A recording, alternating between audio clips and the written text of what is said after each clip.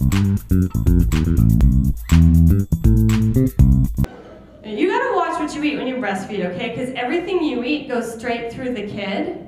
So I had like a whole pot of coffee one morning. The kid is bouncing off the walls. Then I had Mexican for lunch. He was pooping till dinner. Then I had French food for dinner. He had a freaking attitude. But I, I love breastfeeding because I don't really cook.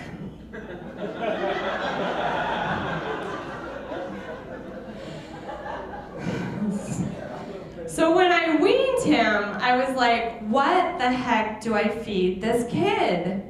So I'm giving him Coke in the morning with his breakfast. Don't judge me. It's the only way he'll swallow his Ritalin.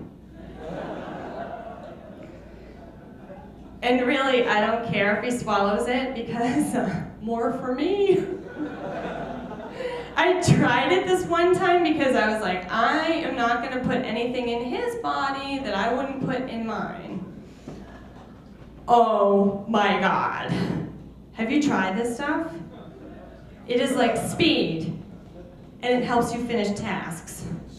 Okay, I popped one and I like decluttered my walk-in closet.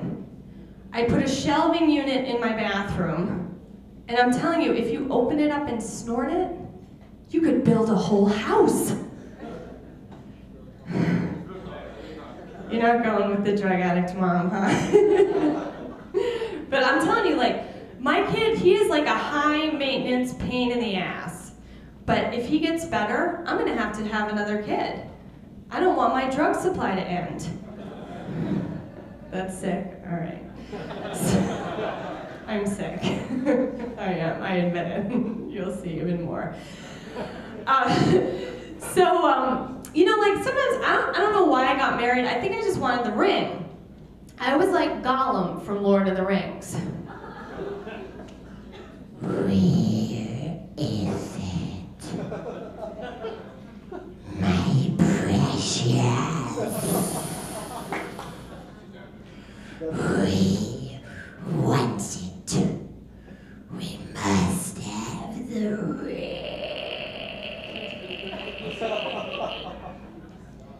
I got it and I was like, Is it nice?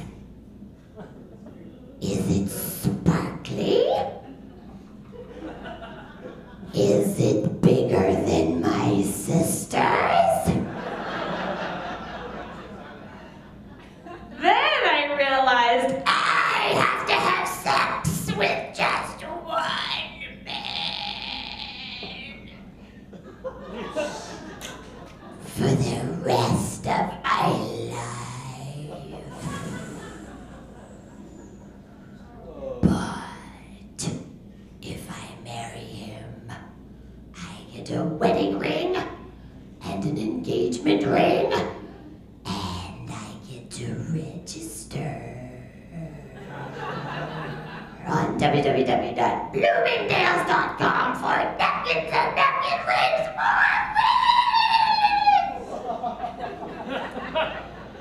now you're all terrified.